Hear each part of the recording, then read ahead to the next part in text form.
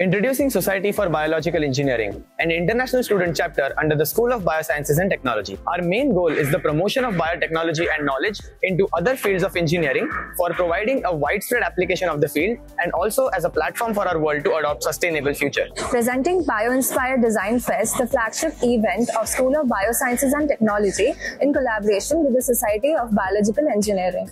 It is a three-day ideathon where participants are challenged with contemporary issues based on sustainable development, medicine, infrastructure, and transport. Here, participants come up with novel solutions and 3D models by taking inspiration from nature. This is one such example of a bio-inspired design. It is an active representation of a lung system. It takes inspiration from the gas and liquid diffusion approach observed in the alveoli of lungs and implements a similar approach. We can thus use it in nebulizers, inhalers, and other gas-based essential items. I'm thrilled to present you this model called Entelia, which draws inspiration from ants. It has panels all over its windows, which intuitively opens and closes as per the sunlight, maintaining the temperature.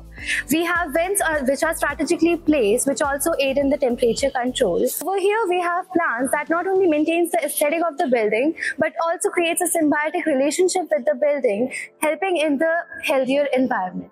Imagine a concept that combines the best of wheels and legs inspired from nature's ingenuity. Meet WEG, the combination of wheels and legs that provides a versatile mobility across all terrains, be it roads, hills, stairs, or even aquatic bodies. With its leg-like extension and shock absorbers, it provides smooth transition and seamless mobility even in terrains like normal roads. These three examples provide us a glimpse of how biomimicry revolutionizes engineering and provides us adaptable and sustainable solutions for the future.